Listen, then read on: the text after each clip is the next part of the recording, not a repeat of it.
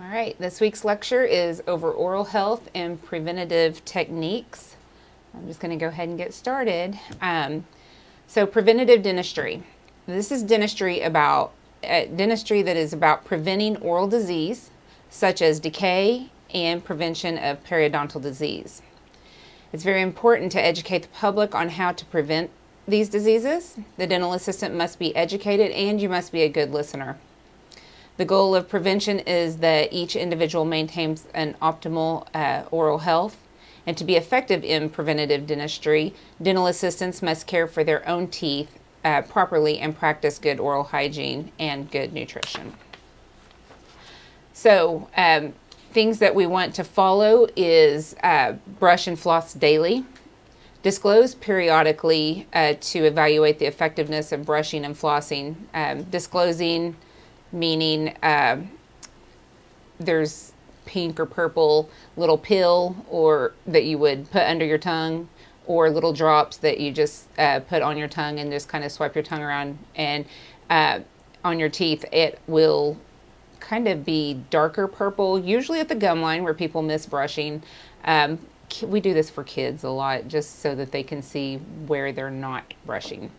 Um, follow a fluoride program while teeth are developing uh, good nutrition, exercise uh, allows strong teeth to develop, and regular visits for exams, cleanings, and dental treatments. Always recommended. All right, the initial visit. I'm not doing that. Um, we'll do a comprehensive exam. And um, they want probing depths, they're going to use the uh, periodontal probe. And this is where they uh, probe next to the tooth between the tissue. It's called the gingival sulcus. And probing depths from 1 to 3 millimeter are healthy gum tissue. Um, bleeding is a sign of infection uh, because healthy gums normally do not bleed. Um, on the probing depths, if it's four, I usually call that kind of a warning sign, uh, and five millimeters and above is diseased tissue. How to di uh, diagnose uh, periodontal disease? Probing readings greater than three millimeters, as I just said. Bleeding upon probing. Swollen and red gums. Uh, bone loss and tartar on x-rays and you can definitely see both of those on the x-rays um, usually a bite wing which would show upper and lower and we will get into that more um, in a couple of weeks. We do use those same x-rays, the bite wings for sure, to detect cavities between the teeth. This is how the doctors see the cavities. Um, brushing this is the single most important instrument in plaque control. Uh, everyone should brush at least two times a day. Brushing the tongue removes uh, germs and keeps your breath fresh. Um, battery powered or electric toothbrushes are very helpful uh, for those who are unable to brush effectively. And we actually recommend that you use a, an electric toothbrush rather than a manual because it does spin so many times per second versus manual where you don't get that many times per second doing it yourself. So we do recommend you use an electric toothbrush. This is the disclosing agent. It's just a picture of uh, someone that's used it. Um, it does temporarily stain teeth in areas where plaque remains after brushing. Plaque can re be removed with a toothbrush and floss, but tartar, which is plaque that has hardened, um, is removed by the dentist or the hygienist. And patients who have had orthodontic appliances, they can have what we call demineralization. And this is where the brackets are located. So once, if they don't clean thoroughly around those brackets, once those brackets come off, then they usually have white spots on the front of their teeth. Um, this is just due to plaque buildup and, um, you know, just not cleaning properly. So we always encourage pay or moms and dads to bring their children in actually about every three months instead of six months if they're not keeping their uh, ortho clean so that we can clean their teeth. So, patient motivation. uh, one of the responsibilities of the dental assistant is to help make oral hygiene a positive experience for the patient. To do this, uh, the dental assistant should treat the patient as an individual, taking into consideration the patient's age, oral hygiene knowledge, skills, and attitude, and any special considerations. Uh, this will be this will better enable the dental assistant to work as a partner with the patient to set goals and keep the patient motivated. Patients tend to not stay motivated because there's usually a regimen that goes along with it. So um, we have to make it simple for them uh, to where they want to do this if it needs to be done morning and night. So we just kind of learn, you know, which patients are going to comply and which ones aren't, and how we need to tailor their needs. Home care, again, make it simple. Um, be specific to the patient and the patient's goals. Um, encourage the patient, uh, set expectations, and develop daily routines. So, patients, most patients like a routine versus, you know, on this day do this, this. Keep it consistent daily. They like that a lot better. There's different um, hygiene aids out there that uh, that you can use. Again, the disclosing agents, dentifrice, which is the same as toothpaste, and we always look for an ADA uh, approval on the box. There's a lot of toothpaste out there that is not that's on the market but not recommended by dentist or the ADA, so you have to be careful with that. Mouth rinses, uh, rinses with fluoride is uh, normally better. So um, we we do have a few different options for that. And then chewing gum, that would be sugar-free gum. So it's important for the dental assistant to be familiar with all hygiene, um, oral hygiene aids that's available on the market. When suggesting one to the patient, keep in mind the less steps involved with usage, the better, like I said. Um, we do, when we recommend mouth rinses, like I said, they usually contain fluoride. There are some out there I know that does not have fluoride. Some people just don't like it. So um, fluoride is prescribed to patients with high incident of decay and can be used for decreasing sensitivity. Interproximal aids, so this would be in between teeth. Inter, uh, interdental aids are used in aiding cleaning I'm sorry, used to aid in cleaning the area between the teeth and to stimulate the gingival tissue in that area. Um, an interproximal brush is just a real small handle, has kind of a um, has a brush on the end, but it looks kind of like a Christmas tree. Um, it does have different sizes to it as well. It's ro uh, rotated back and forth using light pressure in in between the teeth, the interproximal areas. Floss threaders. Um, they're of a harder plastic and you just floss your, uh, I'm sorry, you thread your floss through it, kind of like you would the eye of a needle. Um, and this helps if there's a bridge where you would have a fake tooth, you can get underneath that part of the bridge um, by using a floss threader going underneath, bringing the floss through and flossing um, back and forth. Also, this helps with um, orthodontic brackets because with the wires you can't get down in between the teeth you would take that floss threader in between each tooth and do the same thing. Um, this is stuff that we will show in class with hands-on. I'm just kind of going over some stuff with the lecture, but we will go over this in class so you can see it in person as well. Uh, water irrigation devices, this would be like a Waterpik. Uh, does flush away debris from around ortho brackets and appliances, but does not remove plaque. Um, I have a lot of patients that instead of flossing, they would just rather use um, a um, irrigation device. And I try to tell them, you know, that's fine as long as you're doing something, but we would still like you to floss. A manual toothbrush, which is powered by a human, obviously that would be you, and mechanical, either electric or battery powered. Um, there are brushing techniques. You can look at those in your book and um, see the different techniques that you can use using a, a, manual toothbrush. So dental floss is the second essential element of a good oral hygiene program and this should be done daily. Uh, dental floss has been shown to be the most effective way to remove bacterial plaque and other debris that, which is from uh, inaccessible, which is otherwise inaccessible areas, which would be the interproximal surface of the teeth. Um, there's techniques in your book, and when we get a piece of floss out, we normally get 18 inches of floss. That's typical.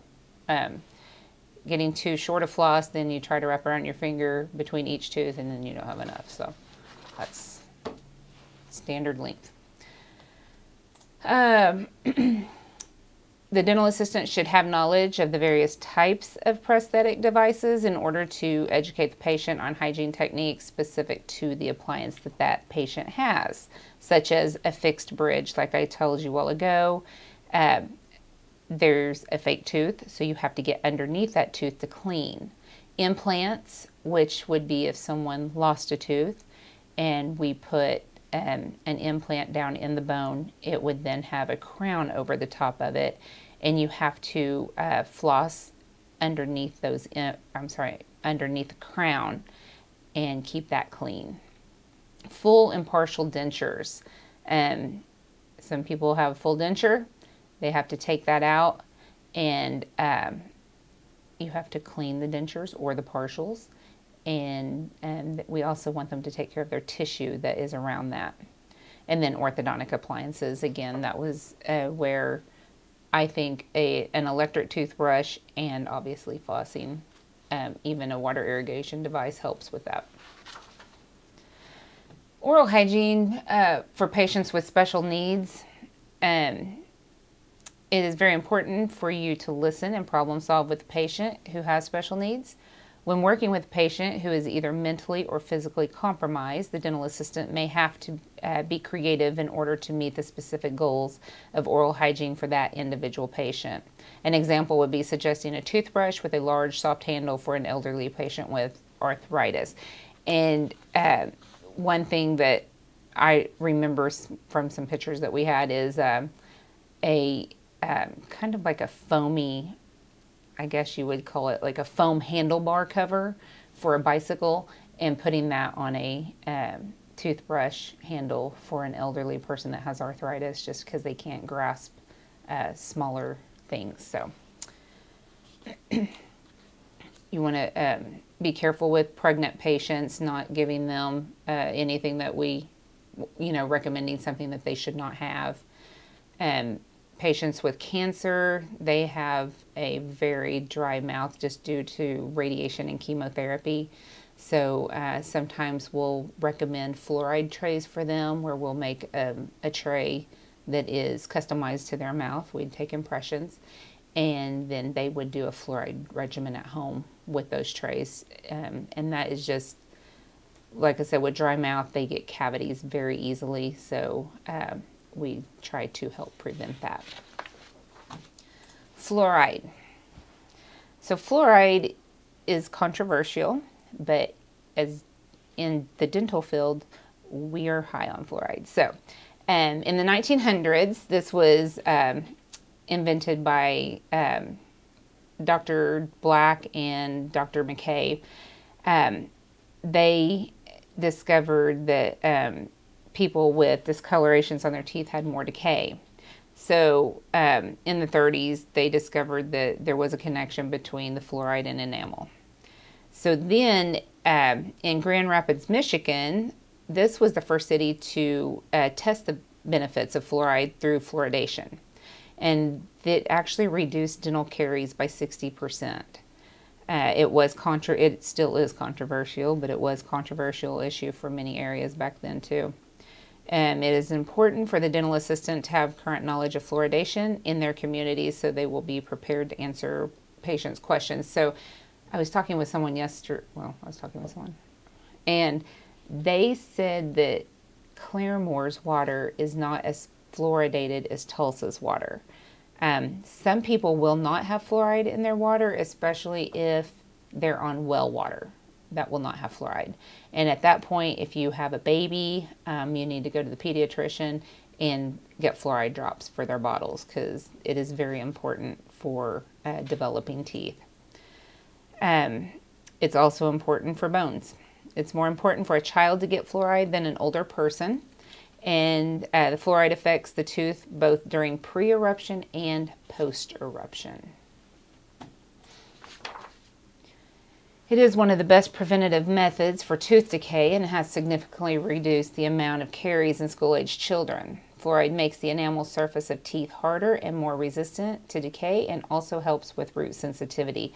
We'll also give fluoride to patients that is um, that are doing home bleaching, and uh, therefore we start them on fluoride for a few days before they're bleaching, and hopefully cut down on the sensitivity.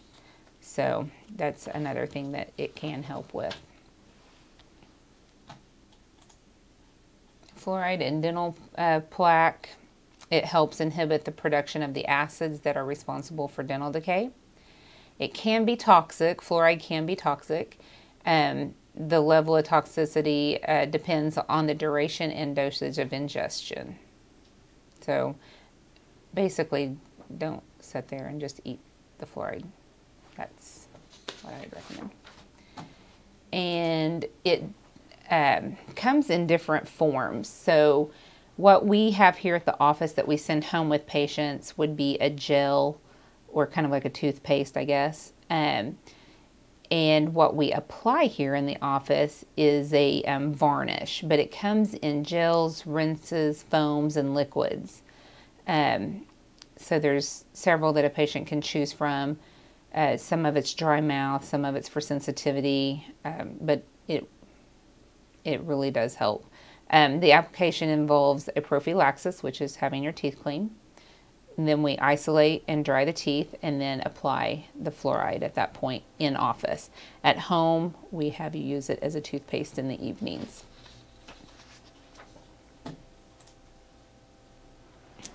So the amount of benefits an individual receives from fluoride depends on the length of time the individual received the fluoride and the amount given.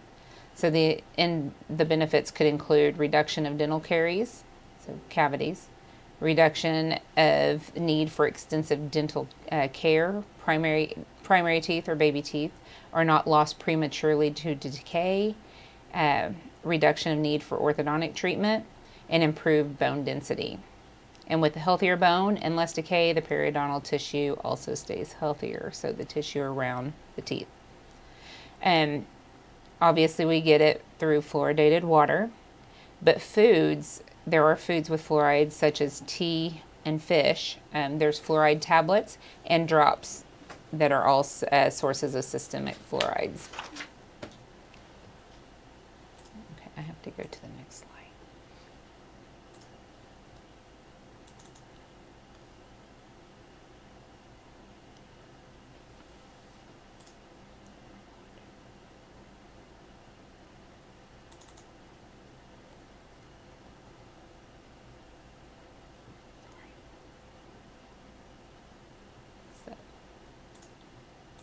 Okay.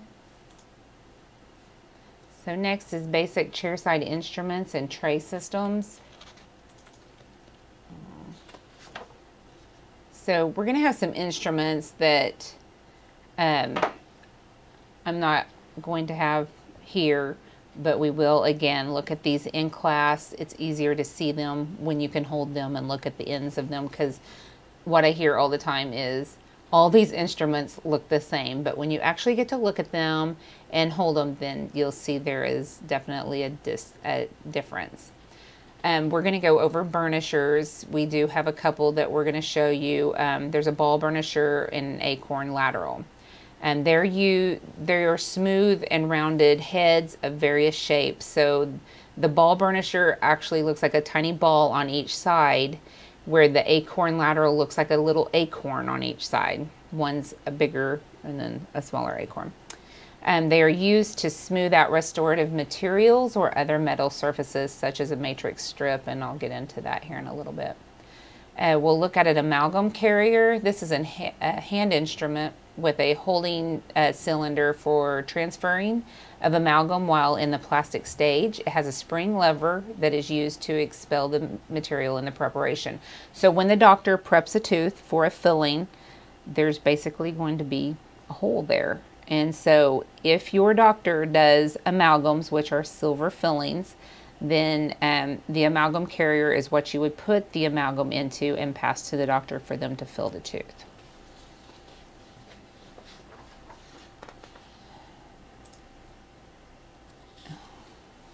No. Um, care and maintenance. So all instruments should be properly cleaned and disinfected as soon as possible after use. So anytime a doctor gives me an instrument, uh, if we're doing fillings, I really don't care what procedure we're doing. Um, I always have an alcohol tuba two there to wipe off the ends because anytime that gets dry on there, it's hard to get off. And then you're going to put it through the ultrasonic and it may not come out, come off in the ultrasonic. And then it's going to go through the autoclave where it's going to get baked on and then you're going to have to scrape it off. So it's just easier when they hand you an instrument, clean both ends, set it down on your tray. Um, if they're unable to be cleaned away, right away, they should be pre-soaked in a solution that prevents the debris from drying on the instruments. And sometimes you don't have time for that either. So um, just wiping them down when you get them back eh, or right when you're done with your procedure is key. Um, instruments should be cleaned in an ultrasonic bath or a similar solution. The ultrasonic is um, it is something that you put your instruments into as soon as you're done with a procedure, and it uh, it shakes the instruments and is supposed to shake all the debris off of them. So, um, hinged instruments such as a, uh, a hemostat, something that opens and closes, they should be cleaned in the open position and should be lubricated as appropriate. After cleaning for the appropriate amount of time, the instruments then should be rinsed and dried. Um, some offices have a dryer where the instruments go into, and um, like ours, for example, we put it in a dryer, it dries them, we can bag them right away. Um, but other offices may not have a dryer, so you may have to let them sit for a little bit to dry because they should be dried before you bag them. Um, once dried, they should be sterilized and stored. So when I say bag them, we're going to bag them into sterilization bags and run them through an autoclave or a Statim. And uh, that is stuff that we will show you in class as well. Um, all instruments should be uh, carefully inspected for uh, use before properly or for properly functioning parts, broken parts, and sharpness. You don't ever want to give your doctor an instrument that is broken on one end. dental handpieces, again, this is something else that uh, we will show you in class, but to prep a tooth for a filling, the doctor will use a high-speed handpiece and um, maybe even a slow speed or low speed, you can call it whatever, whichever you want.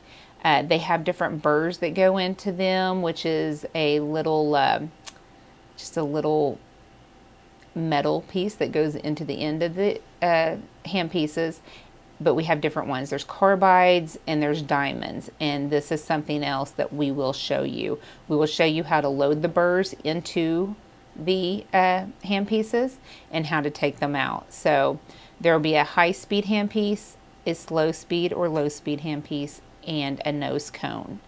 Um, and then I'll kind of go over the different burrs with you as well, again loading them and unloading them. There is a picture of uh, the hand pieces, slow speeds here. This is a metal prophy angle, but this is slow speed. Um, and then there was no high speed on there, but look at that. Uh, color coding systems, this is just something that some offices practice. You will notice on the school instruments, everything will be green and white. There might be green and white bands such as these, or there will be green and white tape. Um, so color coding comes in bands or tape, and some offices may use it, some offices may not. Um, we use it for our restorative kits and our cement kits. So each kit like I have one that's red, white, and blue. That way, if an instrument strays away from that kit, we all know that instrument has red, white, and blue. It needs to go back in with the red, white, and blue kit. So, um, but your office that you get into may have a color coding system totally different than that, or they may not even have one. So, all right. On to anesthesia and sedation.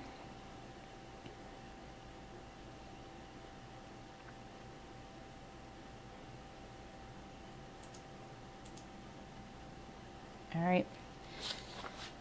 So, anesthesia and sedation. Many patients are really anxious about the dental care and treatment. You will hear it at least 10 times a day of pa patients say, I hate being here. It's nothing against you, but I do not like being here. So we have ways to reduce pain around the areas that we're working, but some patients still don't like that. And so sedation is one method of managing anxiety to, uh, with the patient. Anesthesia also can be used to control the pain and patient experiences. So, depending on the need, various levels of sedation can be achieved from conscious sedation to a deep sedation. Uh, our office does not do um, sedations, we use nitrous oxide, which we'll get into. So, um, but there are different levels, so you may get into an office like an oral surgeon's office that does deep sedation. The first one we're going to talk about is um, conscious sedation. Um, it places the patient in an altered level of consciousness. The patient is still able to communicate and respond to questions. Uh, the form of sedation serves to uh, lower levels of pain and discomfort. The patient may experience a headache, nausea, and brief periods of amnesia following conscious sedation. Next is IV sedation. This is where anesthetics are administered directly into the bloodstream and remain in place throughout the procedure. Um, the patient may remain conscious but is in a deeply relaxed state. The patient often has no recollection of the events that took place while under anesthetic. The form of sedation keeps patients relaxed, comfortable, and pain free. The next one's inhalation sedation. Or oral sedation, sorry. Um, it is achieved by taking a medication the night before a dental procedure.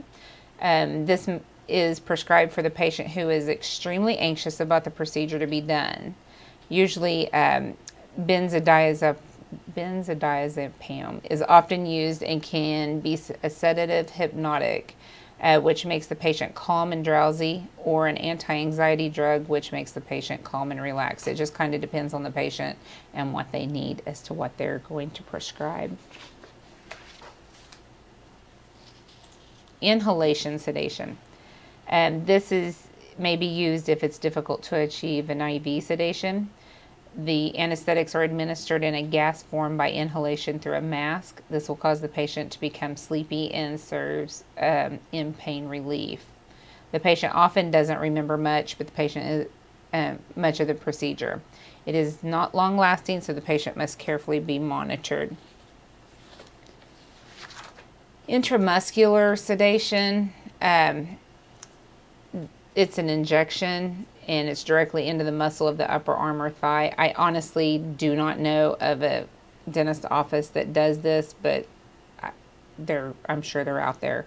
Um, it is not commonly used, but may be seen in pediatric practices. It does take about 20 to 30 minutes for the anesthetic to take effect uh, when you use this route of administration. So, then you've got general anesthesia. And this provides a deep level of sedation that creates an unconscious state. The patient's vital signs must be closely monitored, and the patient will be on the ventilator for the duration of the sedation. General anesthesia alters uh, and depresses the patient's central nervous system. The patient will lose all feeling and sensations. Next, we have topical anesthesia. This is what we would put on a patient's tissue before they get an injection. It just makes it um, kind of numbs the area and makes the needle stick just a little bit, um, or the injection, I should say, a little bit more pain free. So, um, the nerve, this is where the nerve endings in the mucosa are uh, desensitized, causing numbness. This alleviates the sensation of the pinch of the needle used to inject the local anesthetic. And a lot of people, once you put the um, the topical in and you take it out, they are like, "Oh no, my throat's numb, my throat's numb." It would be the same as spraying, you know, some sore throat medicine in the back of your throat. It goes away pretty quick, but some people feel like they can't swallow or breathe or something. So I always just put a little piece of gauze next to my topicals in hopes that it doesn't run down the patient's throat. And we do use it for different things such as scaling, subgingival scaling, um, so kind of below the gum line there. Um, seating crowns. We try to cement our crowns without numbing, but some people need to be numb because their, tooth their teeth are sensitive. Um, placing matrix bands. Again, we'll get into matrix bands here in a bit. Periodontal probing, uh, where they would probe, use the probing depths. Remember, one through three is healthy tissue. Um, anything above is diseased tissue. Um, preparing for local sedation and repressing a gag reflex. And that is something else that I will sometimes do too. If I'm taking an impression and somebody's all worked up, I gag, I gag real easy, then I'll use a, um, a It's in a spray bottle. And you just spray in the back of their throat, it numbs their throat and usually relieves that gag reflex. And something else that we do want to show you in class is to um, um, where to place topical for upper teeth and lower teeth. So uh, we'll be working on that as well. Local anesthesia. This is used to reduce the sensation of pain, touch, and uh, and heat to a particular area. This type of anesthetic works on nerve, fib nerve fibers and blocks sensory impulses. And this is what we do in the office is we numb uh, patients with local. So.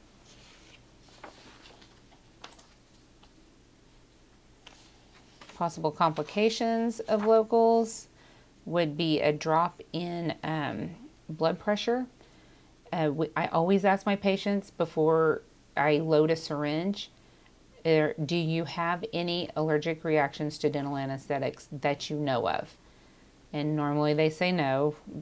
The only thing they might say is the epinephrine, and I'll get into that in just a moment as to why that might be a problem. Uh, the patient could become ill, nausea, vomiting. Um, a lot of times, if patients don't eat, they'll get very shaky with the anesthetic.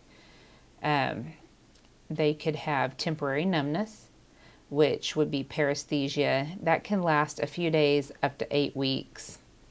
And, you know, it just sometimes it happens. Um, and hemorrhage that creates pressure on the nerve, they could get kind of a bruise on the outside of their face. Uh, so, those are just some of the complications that could happen.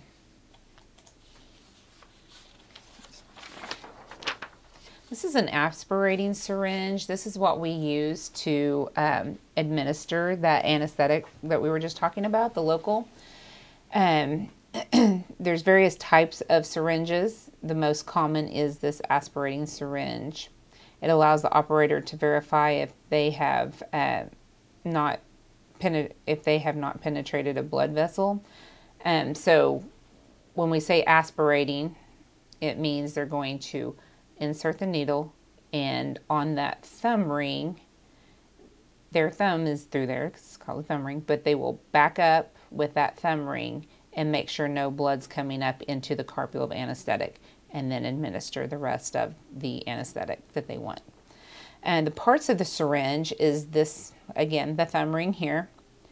Um, this one does not have the finger grips. Usually there's these little wings that come off the sides. Those are called finger grips. The syringe barrel is this part here, this opening. Um, the plunger is uh, this where where this would go down. It's just that bar there. The harpoon is at the end of the plunger. I don't know if you can see that real well, but again, we will show this in class and then the threaded end of the syringe, which is here where the needle goes. Components of a needle. uh, basically you're going to have um, the part that uh, screws onto the aspirating syringe. This little needle actually goes up into the carpule of anesthetic. And then as you can see, there's a couple of different um, links here. And this is what we call a long yellow. And then this one is the short blue. And this, the long yellow is usually what they would use on a lower to block. Um, so when you when you uh, block on the lower, you're all the way at the back and it will block half of the lower. Um, they do come in different gauges, the needles do, so like a 27, 25, or 30. And again, I'll show you how to load and unload this from an aspirating syringe when we get in class and do hands-on. Anesthetic uh, cartridge components or carpule, you can call it either one. So you have the glass cartridge and then you have a rubber stopper or plunger which is in the end here. It is just a little rubber piece. Um, the aluminum cap is here and then there's a diaph what we call a diaphragm at the end of that. That's where that shorter end of the needle is going to go into. So the harpoon is going to end up here. So this is going to go in that little opening that I showed you on that aspirating syringe. The harpoon goes here with the rubber stopper and then the needle goes at this end. Um, vasoconstrictors. So the epinephrine that I mentioned a while ago, that is called a vasoconstrictor. That is um, what it does is when we give an injection in an area, it helps stop the bleeding, you know, control bleeding in that area. So, for instance, this lidocaine here has epinephrine and it says 1 to 100,000. What that means is it has one part of epinephrine to 100,000 parts of lidocaine in this little carpule. So, um, some people are allergic to epinephrine. Um, so we use something called, we'll use carbocaine, 3% carbocaine with no epinephrine in it. Some uh, patients just don't like the epinephrine. It makes them shaky or it makes their heart race. Um, if their heart starts racing during an injection, it's almost exactly one minute on the dot before their heart stops racing but some people just don't like that feeling and would rather use an anesthetic does, that does not have epinephrine in it. Sometimes you get a needle stick. Um, we use a lot of sharp instruments and we use needles. So at some point you may get stuck with one or the other. Um, so what happens is we immediately squeeze the area, the needle stick, um, to make it bleed. We go to a sink, we wash the wounded area with an antimicrobial soap. We then go and notify the dentist to find out which patient the instrument was used on, if possible. You may not be able to know. Um, if it's already in the ultrasonic, you know, like ours are color coded, I could go to the assistants and say, who used the red, white, and blue kit? What patient was it on? Um, and then I would be able to say, okay, we're, you know, I need to ask that patient if they'll go have a blood test as well. And we do review the patient's chart and medical history. And then we follow OSHA protocol if an occupational exposure to bloodborne pathogens occur. So what we do is tell the doctor, and if you want to be tested, then we send you right away. You don't get to do anything else at that point. There, you should have an OSHA person in your office. They know where the paperwork is. There's three different papers that you sign, and then you go to the lab that your doctor is contracted with, and you will get. There's several tests: HIV, um, AIDS. Um, uh, hepatitis. There's several different tests that they will test for you are allowed to ask your patient if they would have a blood test. Patients are allowed to deny a blood test. So at that point, you just hope they're truthful on their um, on their health history. And if they want to go, They go to the same lab. The doctors pay for that, and they only have to go one time. You will then go three times that day, and I believe, I believe it is two weeks later, and then like six months later or something like that. So, um, I will definitely follow up on those times and let you know for sure. But uh, you go three times, and like I said, it's usually at some place that the doctor's contracted with um, and have that done. That's per OSHA. All right, next is nitrous oxide. Um, this is what is commonly called laughing gas. Some people love it and some people do not like it. Um, it is, it's safe, it's non-flammable gas, it does relax the patient, it comforts the patient, and it's 100% out of your system when you leave the office. A lot of people is like, oh, I can't have that, I'm driving. No, you can if you want it because we're going to put you on 100% oxygen at the end for about 10 minutes and we're going to clear your head and you can leave totally fine. So some people just don't understand uh, how it works. Uh, so in some states, they do allow the dental assistant to perform this task under dental supervision. Other states only allow assisting the dentist. So that would mean the dentist turns it on, the dentist puts the nitrous nose on, and as long as the doctor's watching you, you can control it. But if they're not in the room, then you cannot control the um, flow of the nitrous. Uh, patients who benefit from the nitrous oxide, they do have a fear of dental treatment or sensitive gag reflexes. Of course, you always get the patient that just likes it and they just want to use it. So, in, to ensure patient safety, their health history should be kept current. The assistant should closely monitor the heart rate, uh, blood pressure, respiratory rate, and responsiveness of the patient during treatment. So, sometimes patients will come in with Valium and they'll want the nitrous as well because they're just very nervous. So we put the pulse, pulse oximeter on their finger and we watch their oxygen levels during the procedure. Uh, but we always take their blood pressure first. If the blood pressure is high, you know, we have the doctor address that um, and make sure it's in a safe zone that we could still administer the nitrous and do the procedure with the local.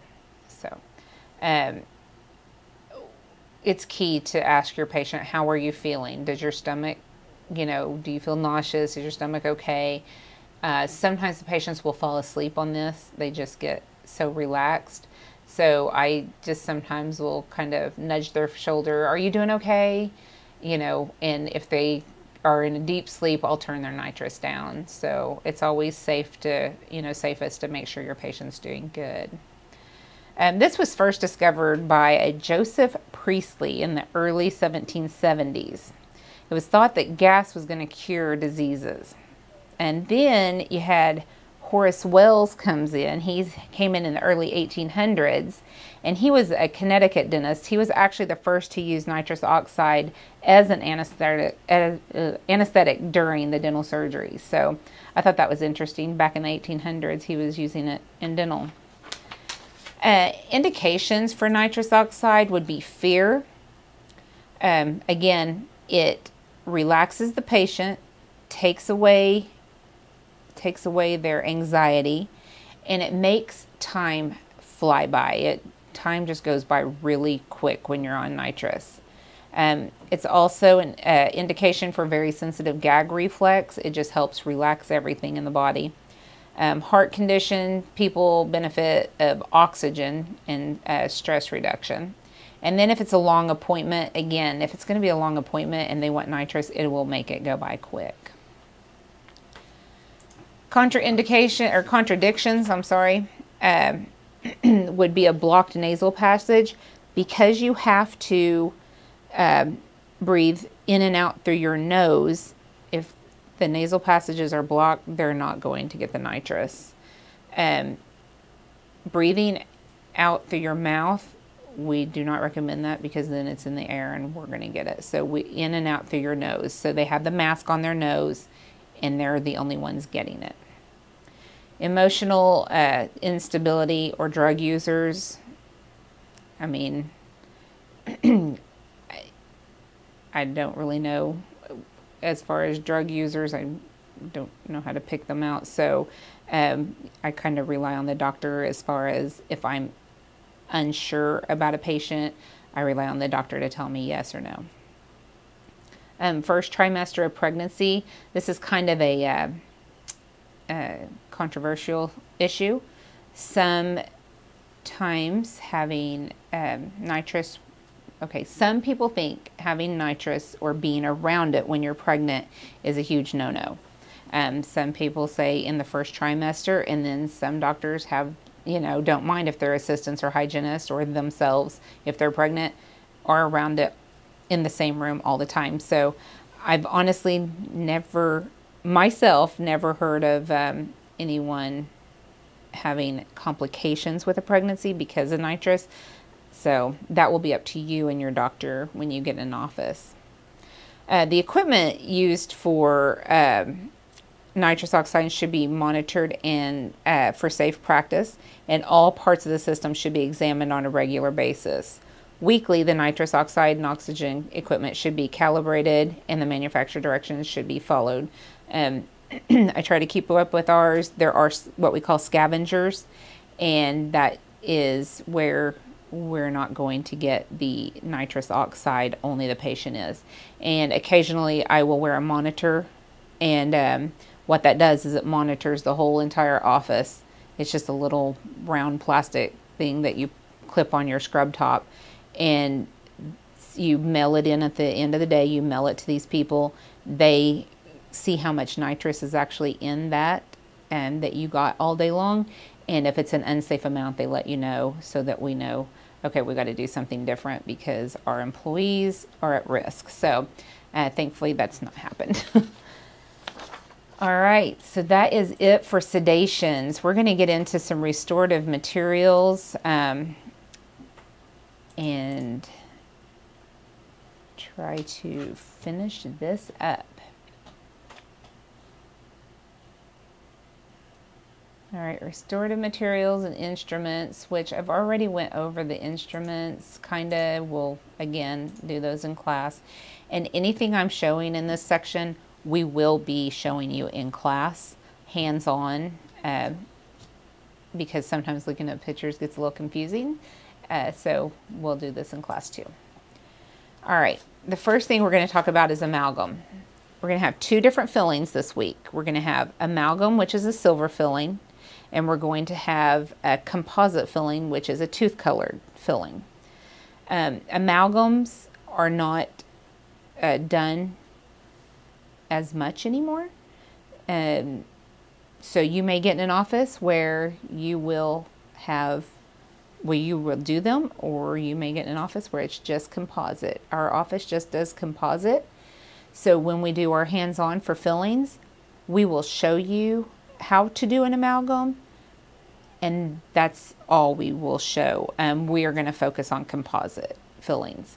So uh, with amalgams, there's a variety of materials that can be used to restore a tooth um, after, after the decay has been removed and liners and bases have been placed. Amalgam is composed of silver, tin, copper, and zinc, and it is mixed with mercury. So this is another controversial issue. Um, we have patients that come in, I want all this silver out of my mouth because I don't want mercury in my mouth. So, um, you know, we take it out and we'll put uh, composite fillings in the tooth color. The components of amalgam can be used in different proportions depending on the needs of the restoration. The mercury in the amalgam is toxic and must be handled with care. Amalgam is subject to dimensional changes and will expand and contract. The material will also change under constant load. Amalgam restorations may tarnish and corrode within the oral cavity, so they get darker and darker. Um, one thing that amalgams are truly known for is you'll have your tooth structure. In the middle, you'll have an amalgam, um, silver filling, and between the tooth structure and the amalgam, which would be the margins of the filling, uh, where it expands and contracts with heat and cold, uh, bacteria gets under there and decays underneath the amalgam. So then we have to take it out. Um, so If that happens, obviously it's decay and we have to put in a different filling. But that is very common with an amalgam filling. We're going to move on to composite. Um, composites are used to provide more aesthetically pleasing restorations. They are organic polymer matrix. Um, there's inorganic fillers. Um, we'll get into that more later. Um, so there's macrofill composites that are used for class uh, five rest, or I'm sorry, class four restorations. And there's different ones for different classes. And in our in our school, uh, we're going to be focusing on a flowable composite and a regular composite. Um, let's see. The uh, the composites are used in anterior and posterior, so front teeth and back teeth. Um, they are uh, they're just more aesthetic. So even on back teeth, when you open your mouth, you don't see the dark silver fillings. You're going to see tooth colored restorations, or even if you can see them, because they're going to blend in. Um, flowable composites, which I told you that we would look at, they have a low viscosity, viscosity and they are applied directly into the preparation. They can be used as a sealant for pit and fissures, and they they um, when you use the I think what we have a class is in a syringe looking, and you'll notice it just flows right out. But once we put the uh, curing light on it, it hardens it to a very hard plastic in about five seconds. Packable composites, um, their consistency of putty, and um, they are high viscous. Um, they are used in areas that need stronger restorations, and we use flowable and packable on posterior and anterior teeth. So um, there are some teeth that we can get away with that doesn't need as much strength.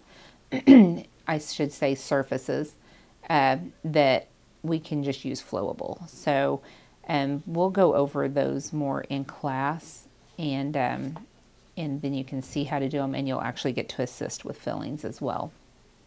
And what this is showing is we call this a composite gun, and these are carpules of composite. So composite comes in different shades. Um, there's bleach shade materials. There's a um, some are A1, A2, and I'll kind of show you uh, the bleach versus some of the darker ones and you can see the difference in colors. So somebody that has really white white teeth we wouldn't want to give them a dark shade for their front teeth because it might not look very good very aesthetic. Um, rest, uh, restorations. So on anterior resin fillings which is tooth colored they can discolor and uh, stain over time and sometimes the doctor can just run their handpiece with a little burr over it and get some of that stain off from around the filling. Sometimes we have to replace it. So um, they can chip and fracture just as your tooth could or a crown. I mean, anything can chip and fracture because our teeth take a beating every single day. Alternatives, if the, restor- the restorative treatment is postponed and decay uh, reaches the pulp chamber, then we would have to have a root canal. Um, and that just may be needed to save the tooth. It just kind of depends on how deep the decay is, or if there's a break and it's down to the nerve, and that is an alternative, and maybe crowning it after that. Um, comparing the materials, amalgam contains mercury, which patients don't like, and we don't particularly like. And then the resins or the tooth colored uh, fillings bond to the teeth, and they do look like natural teeth. So um, it patients do like that option a lot better. I'm not going to go over these. I'm sorry, I thought these were out. Okay, next we have wedges. So we have to sometimes use a um, a uh, a matrix, what we call a matrix, to form the filling. So we're trying, if, if the cavity goes down in between the tooth, what we're trying to do is fill something that is in between a very tight spot and rounded. So I always use this analogy. Um, if you're trying to pour a square pad of concrete, you don't just go throw concrete on the ground and expect it to be a square pad. You have to build a form, such as two by twos or, or two by fours, and you build a square and you pour your concrete in there. And once it's hardened, you take off those forms and you have a square pad of concrete. So this is kind of the same thing. If we're doing a filling in between the teeth, we have to mold that and round it to the tooth if we were just to put the filling material in there, it would all just flow out and we would not ever achieve what we were wanting to. So we use what we call a matrix. And next is the matrix. So they're doing the wedges first. Um, so what this does is um, wedges come in plastic or wood and it helps hold the matrix in place. It also prevents excess filling from, well, excess filling from escaping from the tooth it does help with um, leakage as well if we're having some um, uh, moisture problems around the matrix. We can put a wedge in and a lot of times that will help with the moisture. And then, like I said, these matrices and wedges are only used if it's interproximal, so in between the teeth.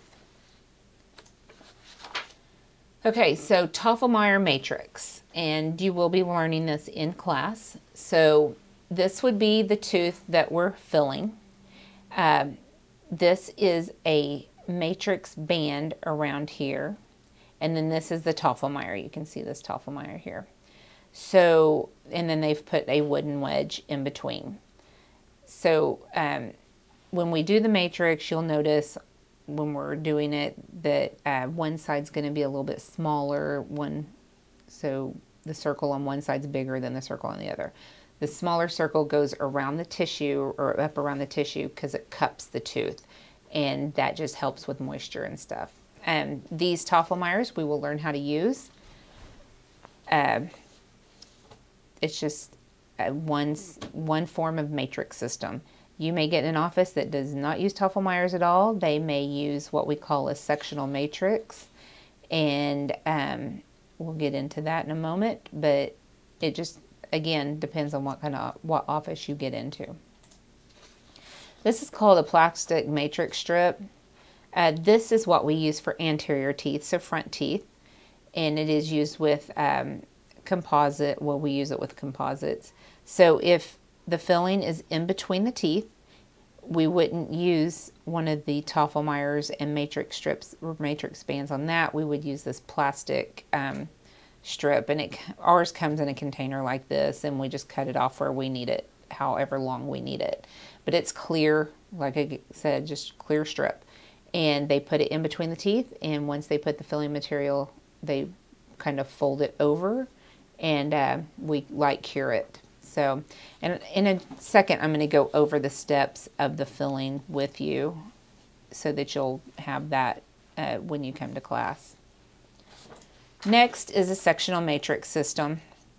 So uh, this, again, used in between the teeth. Um, these are holders that um, help get this little ring on.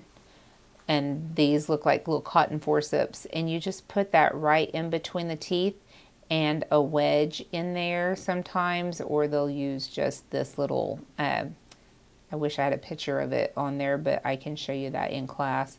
There's different, um, this one does not have a little, what I call a little wing that comes off of it. Some do and some don't. The doctor usually picks those out. We are allowed to put these in and take them out just like with the Tofflemire assistants are allowed to put the Tofflemires on and take them off. So again, this goes back to whatever office you get you get into is to what you will use. So, but this is just basically the same thing as a Tofflemire, just smaller. You don't have that um, uh, the Tofflemire itself, and it's just a whole different. It's a different system. So, but it does the same thing. And as far as the uh, the um, order of how the fillings go, if we're doing an amalgam, which is the silver filling, we would just use bond and amalgam. So bond is like the glue, basically. Um, it helps the amalgam stick in the tooth, okay? The other that we would do is composite. It is uh, uh, tooth colored filling. And we would, our first step would be etch. And what etch is, I call it like the soap. So, and I always use this analogy here. If you're trying to paint a slick surface, Normally paint's not going to stick, so you have to rough it up and then paint. So this is kind of the same thing. You put the etch uh, around the prep of the tooth that the doctor has prepped, and then you rinse it. What this is doing is you will notice the tooth will look chalky, kind of roughens up the surface, um, and opens up what we call the tubules so that everything's going to stick to the tooth. So next, after the etch and we rinse it, we would use bond. So again, like the glue. Um, we would then what we call light cure, and we have a curing light. It shines a very bright blue light, and we always recommend you not look at it at that light while it's going. Um, and then after that, we would, like I said, we light cure that, and then would be flowable composite, and then the regular or packable composite. Um, and between some doctors will want you to cure like cure the flowable. Some doctors do not. It just depends on the doctor. And then we would put the packable in and cure that. Um, you do that you know several layers if it's a deeper filling you don't want to just do it all at once because you can get air bubbles which then will cause sensitivity uh, so they do it in layers so that the um, you know so that they make sure everything's cured in between and no air bubbles. So those are the steps for both amalgam and uh, composite. Again, we'll do these in class and show you. You do have uh, pictures and a uh, sheet with the names of the instruments in your binder. So start getting um, familiar with those. I'll show them to you in class again and um, see that you can see the ends of them and um, not be confused. So anyway, uh, we will see you in class. Okay, no. and uh, so just keep that fine, just looks good. Um, well, um, now that all looks fine, we'll shoot it like that.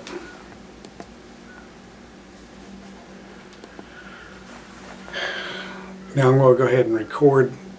We're recording this and what we'll do is we'll put the two cameras together. then you'll have to watch it. and you'll have to tell me about where it's where you're wanting this video at and you can do it by number and you can also when you do it by number of on the bottom of the screen of mm -hmm. where it's mm-hmm. at and then you could say um, have to start when I say blah blah blah mm -hmm. and mm-hmm. then end it when I say blah blah blah. Okay and then we'll have it on the screen for that amount of time. Okay. But I'm recording all of that right now, and uh, we can put that put that on there. It's going to look good. Okay. That's that one. That's it for that one. Yeah. Right. I'm rolling. You're rolling. All right. Here we go. This is for what? This is composite filling. Okay.